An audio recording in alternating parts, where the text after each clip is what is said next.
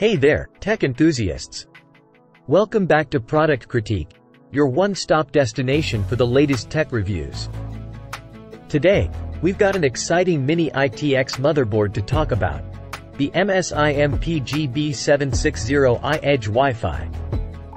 If you're new here, make sure to hit that subscribe button and the bell icon to stay in the loop with our tech updates.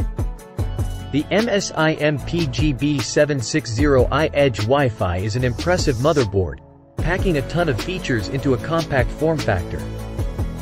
And guess what? It's priced at just $219.99. Let's dive into the details. Despite being from the budget side of the menu, this mini ITX motherboard doesn't compromise on features.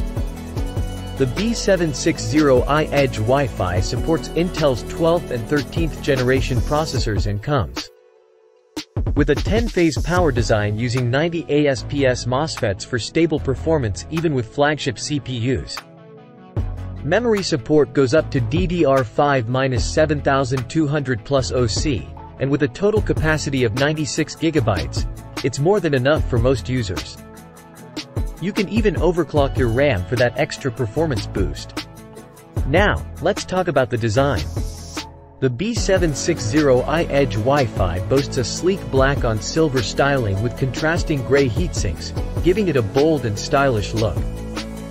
While it doesn't have integrated RGB LEDs, there are two onboard headers for you to add your own lighting and customize your build.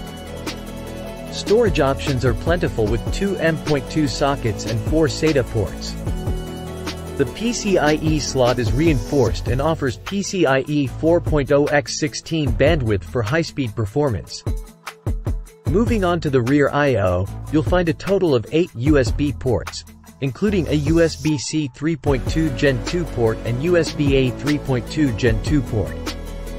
There are also DisplayPort and HDMI 2.1 ports for integrated graphics, along with a Realtek 2.5 gigabits per second Ethernet port and Wi-Fi antenna connections.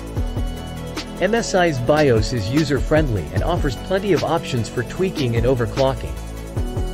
The MSI Center app provides additional utilities like Mystic Light for RGB control and hardware monitoring features. To sum it up, the MSI MPGB760i Edge Wi-Fi is a fantastic mini ITX motherboard priced at just $219.99. It's fully featured, good-looking, and performs excellently with flagship-class processors. However, I must mention that rival Asus has a similarly priced board with a 20 gigabits per second port and a superior audio solution. So, it's always good to consider your specific needs. That's it for today's review on Product Critique. If you found this video helpful, don't forget to give it a thumbs up and leave your comments below. Make sure to subscribe to our channel and hit the bell icon so you won't miss out on more exciting tech reviews. Thanks for tuning in, and I'll catch you in the next one. That's it for today's review on Product Critique. If you found this video helpful, don't forget to give it a thumbs up and leave your comments below. Make sure to subscribe to our channel and hit the bell icon so you won't miss out on more exciting tech reviews. Thanks for tuning in, and I'll catch you in the next one.